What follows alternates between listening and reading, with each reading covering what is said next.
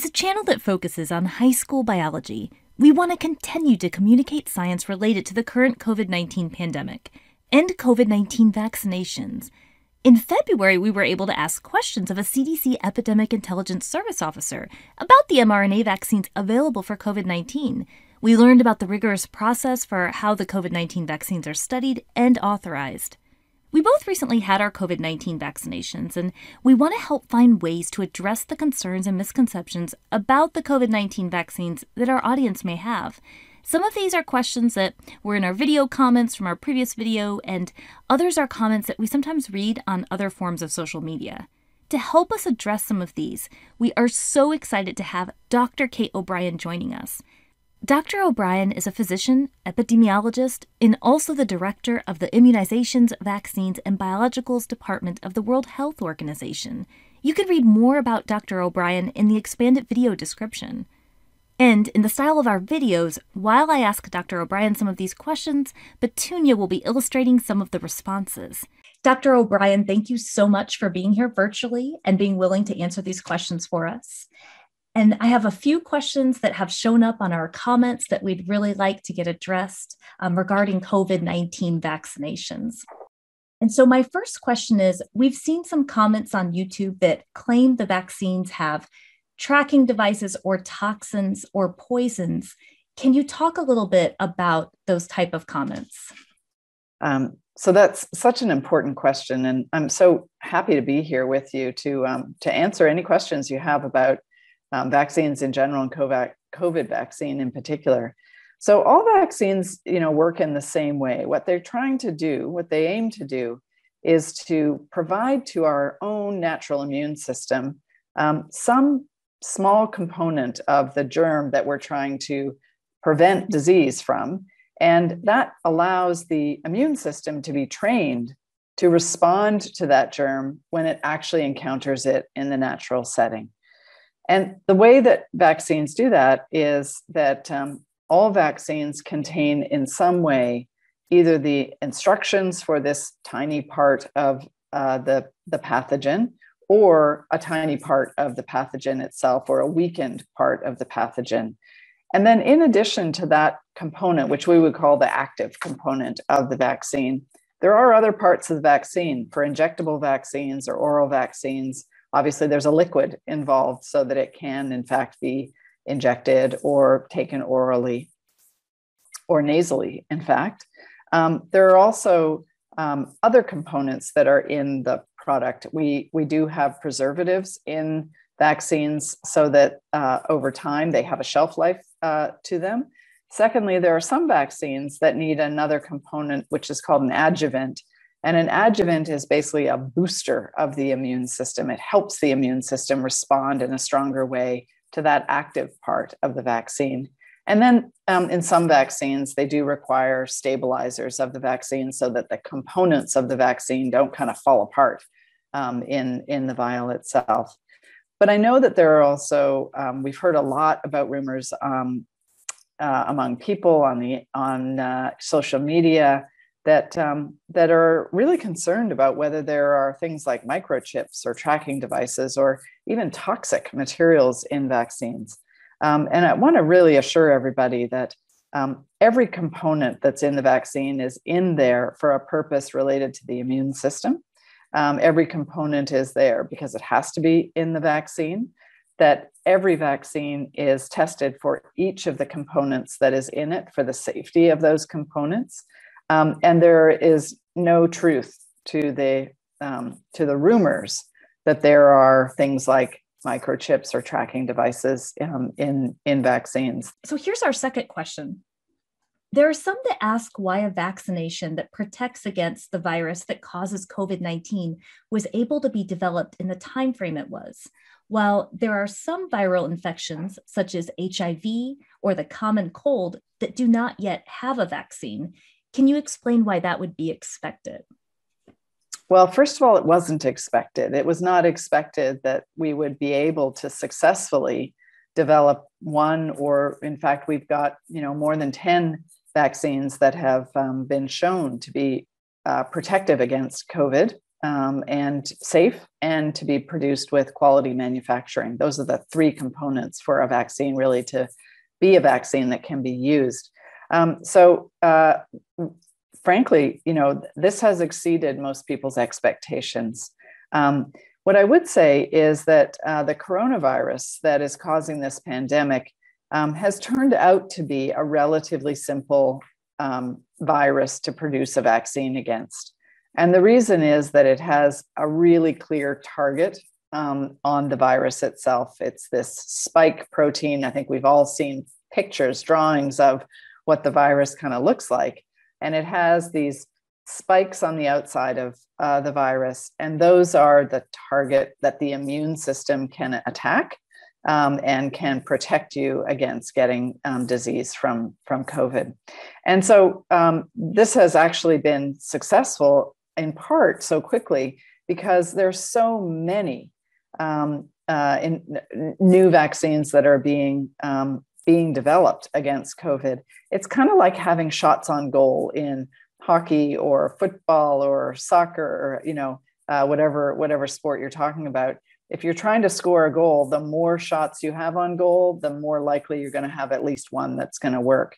Um, and so, because the whole world has been responding to the pandemic, we have over 200 candidate vaccines that have been in develop or continued in development or continue to be in development. And we've we've now seen the success of some of those vaccines coming through the clinical trial development. Unfortunately, there are other viruses, and I think HIV is probably the best example that, in spite of billions of dollars of development uh, funding and efforts to develop vaccines that would be successful, and many vaccines that have actually gone into human clinical trials. The HIV virus itself is a really difficult virus to work with. It evades the immune system. It has strategies as a virus for mutating that actually hides itself from the immune system. So it's been um, a, an area of intense vaccine development. And there have been some successes of vaccines, but they've been insufficient um, to actually warrant proceeding with the further development of those vaccines. But we're still working on HIV vaccines, and I think you will start to see um, more trials happening with HIV vaccines. And we really hope that some of those strategies are going to work.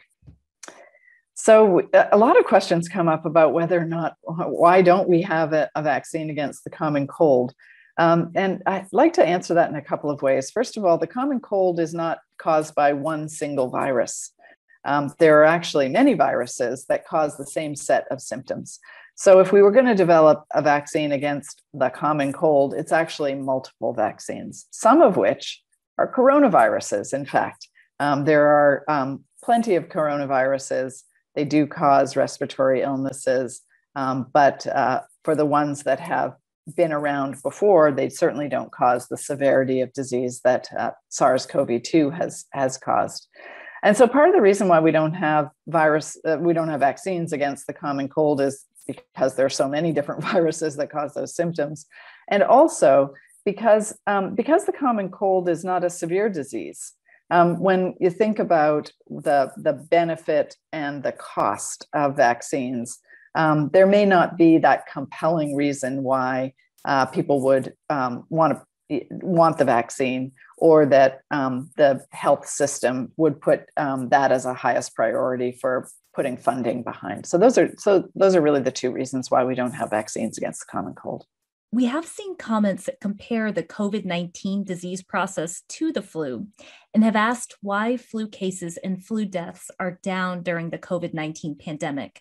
Can you address how this pandemic has statistically been different from the flu and why flu cases have been down this past year? So, there have been a lot of comparisons between flu and COVID. Um, first, to address why we're seeing um, fewer influenza cases this year than we have in past years, it's actually quite simple. And um, the answer to that is that because of the interventions to limit and prevent the spread of SARS CoV 2, the COVID virus, um, people are not interacting with each other. and influenza is spread from person to person.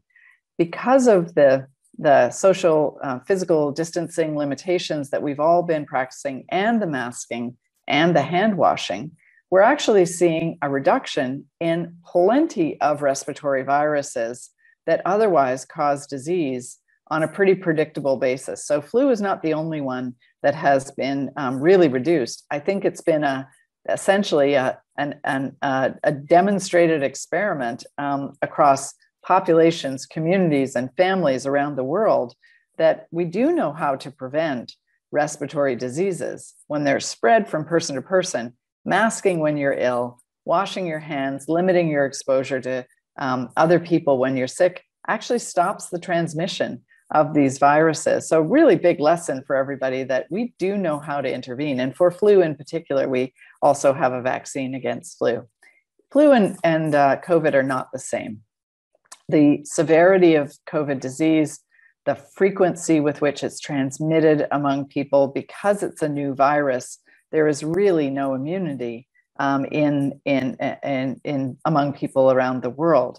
And that's what's really driven the response to COVID because of the rapid um, increase in the number of serious cases, hospitalized cases, cases of people who needed intensive care unit care, um, and people who died. Um, and we're still seeing that around the world. So this is what um, causes the, you know, is the difference between flu and COVID is really the risk of severe disease and the rapid spread of this virus around the world to people who are all not immune. Some comments have repeatedly stated a survival statistic of COVID 19, and the number that we see the most from the comments is this quote unquote 99.7% survival rate. And we're not actually sure where this number comes from. And we want to get into the significance of the statistics for this disease. Is that statistic about survival rate accurate? And is the survival statistic a good indicator of how concerned we should be about COVID 19? Well, I think the most important thing is not to be looking at among people who get infected um, what the likelihood is of dying. I think what's a more important statistic is um, what is the likelihood of actually getting disease? And if you get disease, what is your likelihood of having a severe outcome? We're in this situation with this pandemic because disease is spreading like wildfire in some countries around the world and has moved from country to country in terms of its um, size and dimension of the pandemic. Um, and the number of cases of severe disease um, risks overwhelming the healthcare system, which is not designed uh, to accommodate large numbers of people who have no immunity to this virus, and a fraction of them will get hospitalized, will require oxygen, a fraction of those will require intensive care. And unfortunately, people will die. And we've seen that. We're now over 3 million deaths from COVID um, around the world and, uh, and hundreds of millions of, of cases. And so, this number of 99.7% survival um, can come, can come from measuring those people who get infected, some people are completely asymptomatic. Some people have no symptoms at all, and yet they can nevertheless transmit to other people um, the, the infection. But among those who develop disease, um, the rate of mortality, the rate of death, really does vary also according to um, your underlying risk factors, the age that you are, um, and other diseases that you have. And it varies geographically and over time. Unfortunately, at the beginning of this pandemic, it was a new disease, the kind of respiratory illness that people got. It was not totally clear how to treat them best, what the best treatments would be. Um, and as we've gotten a clearer understanding of the, um, the, the nature of the illness, um, we've gotten better in the medical care system for treating people, but nevertheless, um, there continue to be substantial numbers of, of deaths among people. So that's what we're trying to, to prevent. Right. And our very last question we know that after a vaccination, the human body experiences an immune response. And we know that sometimes this results in side effects, which are usually temporary. And while my personal response was mild, sore arm for a while, I know that's anecdotal because that's just my experience. We would like to know the actual data about side effects. Can you give us some information about the current data of side effects from COVID 19 vaccinations? And based on it, what would you tell someone who is concerned about side effects? Sure. Um, everybody who goes to get a vaccine wants to know what's going to happen to me after I get this vaccine and am I going to have some side effects? Um, the information that we have about each of the vaccines that's authorized for use is that they're incredibly safe vaccines. They've now been given to hundreds of millions of people around the world. In fact, over 1 billion doses of these vaccines have been administered around the world um, in 2021 um, and beginning in late 2020. And we have surveillance systems to monitor for safety events. But from the clinical trials, we know that it's, it's quite common for people to have um, local and time limited um, mild or moderate uh, side effects a sore arm, redness for some, swelling for some. Some people have headache, um, some can also have fever, some just don't feel well um, almost a, a, as if they might have a viral infection. These are really time limited side effects 24 hours, 48 hours. People can certainly take ibuprofen or acetaminophen um, to manage the symptoms. In very rare circumstances, um, there are more serious side effects. Um, and um, there's a there's a range of what those are. We don't have to go into the details of them, um, but I think what's most important to understand is these are incredibly rare side effects um, that are the serious side effects. And um, in spite of um, some of the vaccines that have these very rare side effects, the benefit of the vaccine for for each individual far outweighs the risk of those side effects. Um, vaccines are uh, assessed for safety during the course of the development of the vaccine. We continue to monitor for safety events even after vaccines are authorized by the regulator in the country, in the case of the United States, the FDA. And we continue to monitor um, anything that happens related to vaccines so that if there are rare events they're identified as quickly as possible, they're evaluated, warnings are given to physicians and to the general public so people know what to look for, and they can then be managed um, and treated for those um, uh, rare events that do occur. Thank you so much for your answers with these questions. I really appreciate it, and we really appreciate your time. Thank you for having me. It was really fun and a real pleasure. Well, that's it for the Amoeba Sisters, and we remind you to stay curious.